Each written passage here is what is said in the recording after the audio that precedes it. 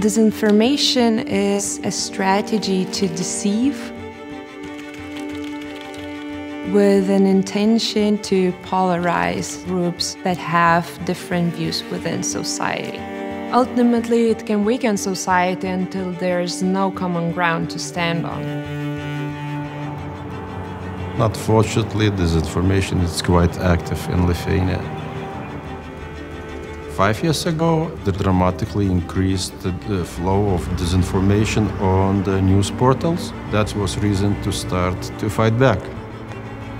The elves, they are the grassroots movement working undercover to stop somehow or to, or to decrease disinformation.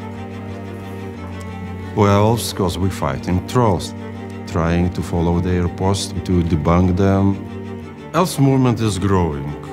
But you know, it's, it's, it has some limits. There needed to be a solution which could speed up the debunking process. When we are speaking about disinformation, some specific keywords are being repeated over and over again. So we developed a tool that is constantly looking for these keywords, for these narratives, automating detection of potentially harmful articles. I'm Viktoras Daukšas, and I'm the head of debunk.eu. The debunk platform will analyze thousands of articles each day in nearly real time. AI can topicize each content piece and score the articles by the narratives and by reach and how harmful is the content. Google helped us uh, to fund the whole debunk uh, project as it is today. Back in 2016, we started to write about uh, disinformation issues, but all that was done manually. Now, with the help of Google, we had a chance to create a system that joins the efforts of the elves, of the journalists, and of the AI specialists.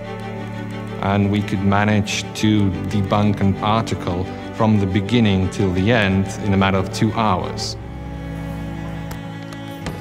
There is no way that you could do it in a proper way without technology. Disinformation is created at large scale, and uh, you need the right tools to counter that.